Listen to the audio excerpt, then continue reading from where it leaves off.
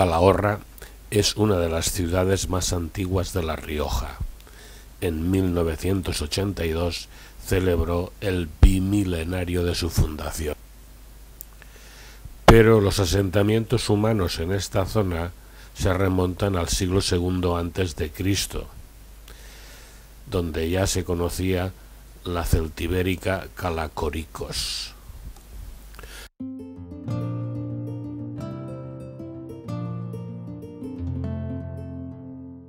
Caminamos hacia la Catedral de Santa María, que se encuentra en la parte baja de la población, en el arrabal, junto al río Cidacos, y que es sede de la diócesis de Calahorra y la Calzada, Logroño.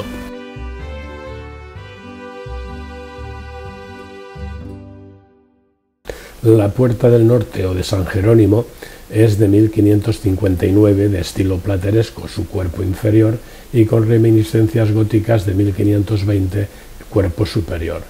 En el tímpano la coronación de la Virgen, asistida por San Emeterio y San Celedonio. Se llama también la Puerta del Fosal porque antiguamente presidía el cementerio de la catedral. En ella están representados dos ángeles trompeteros anunciando la resurrección de los muertos. Este río, aparentemente seco, tiene corrientes subterráneas que han perjudicado de alguna forma los cimientos de la catedral.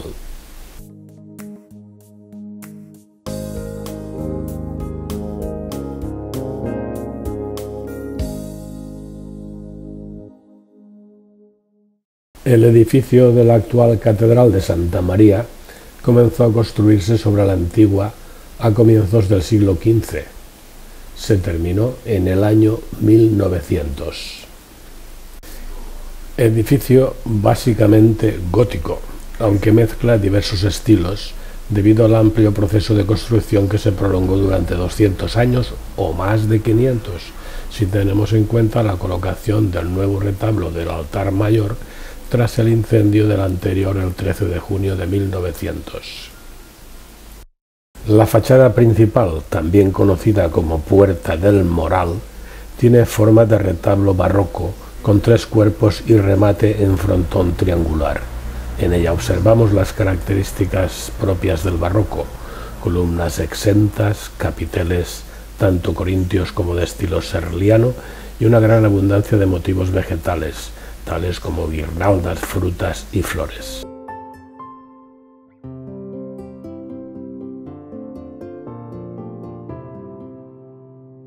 En el trascoro, nada más entrar a la catedral, nos encontramos de frente con el retablo de los Reyes, de estilo rococó, elaborado por Manuel Adán y Julián Martínez entre 1750 y 1757. 11 metros de alto por 11 y medio de largo, con el relieve central de la adoración de los Reyes Magos.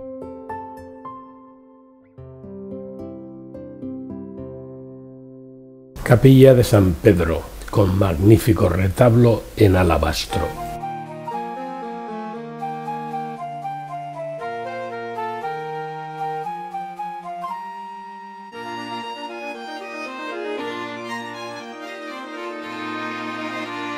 Tríptico plateresco que presenta escenas de la Pasión, de la vida de San Juan, de la Anunciación y del Padre Eterno.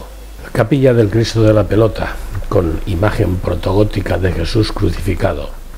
Tiene su brazo izquierdo caído, lo que es atribuido por la leyenda a que Jesús está señalando al culpable de un crimen cometido por la disputa de un tanto durante el juego.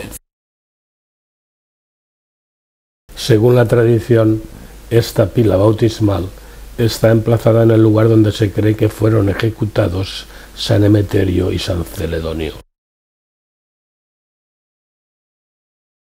Aquí, un 13 de marzo del año 300, Emeterio y Celedonio, hijos del centurión Marcelo y soldados de la legión romana, fueron decapitados.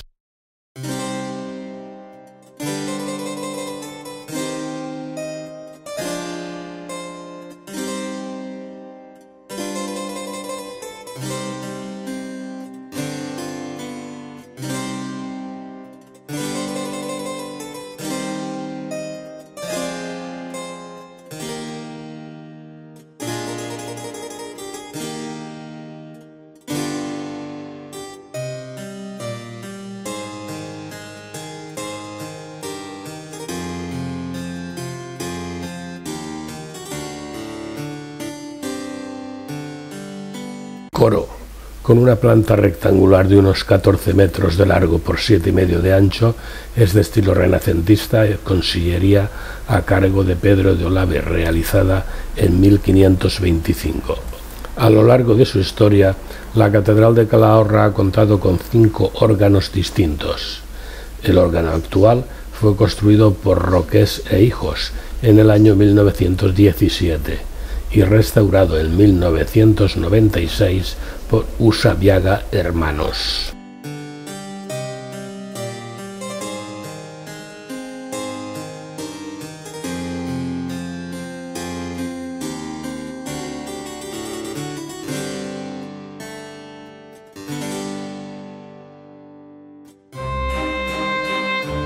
La sacristía, conocida como el pequeño salón de los espejos, por lucir 41 espejos sobre cajonería rococó.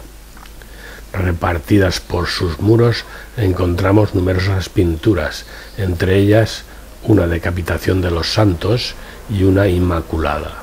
El ciprés, custodia gótica, donación de Enrique IV.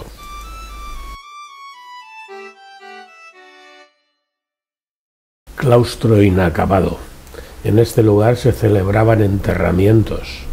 En tiempos de la invasión napoleónica, los soldados ejercitaron su puntería disparando las cabezas de las estatuas.